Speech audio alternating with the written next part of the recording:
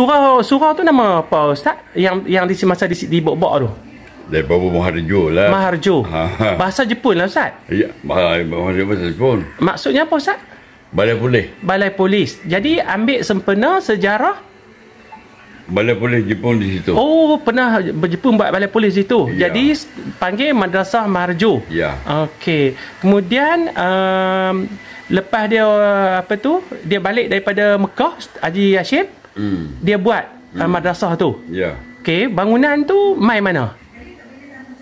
Uh, Kayu-kayu apa yang dia buat tu? Kayu tu dia kutip wakaf di bawah kampung. Okey, kayu tu ambil dari mana Ustaz? Di bukit. Dari bukit. Okey, jadi ambil usung buatlah. Ya. Bumbung Ustaz? Bumbu pun kayu di bukit kan. Tapi atak dia beli dia. Oh, tak belilah noh. Hmm, okey okey. Kemudian uh, budak-budak yang belajar berapa orang Ustaz? Dalam 40-50 je. Okey. 40 atau Kemudian 50. uh, yang mengajar tu berapa orang? uh, saya, Ustaz Wahab Isa di Kepangguh tu. Okey. Haji Hashim, tiga Oh, orang. tiga orang. Tiga orang. Okey, kemudian uh, pelajaran yang diajar di situ Ustaz.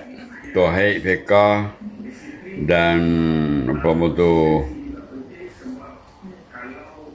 Ada pelajaran sains apa tak Ustaz zaman tak, tu? tak, tak. Oh, pelajaran dalam Rumi ada tak Ustaz? Dia belajar Arab eh. Oh, Arab saja. Arab. Oh.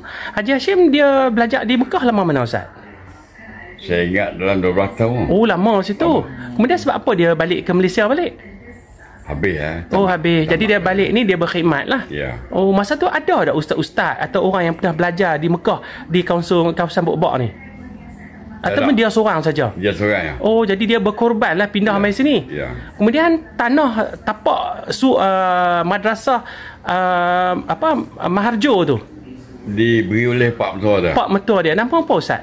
Abu Bakar bin Saleh. Abu Bakar bin Saleh Pak mentua dia lah. Ya. Uh, okey. Jadi kita doa lah supaya orang yang buat wakaf tu dapat uh, apa tu ganjaran pahala berterusan. Terima kasih Ustaz tu lah. Wahab. Tanah tapak tu. Okey, tap, tapak tu masih ada lagi? Ada. Uh, InsyaAllah kami akan melawat. Okay, terima kasih banyak Ustaz. Ya.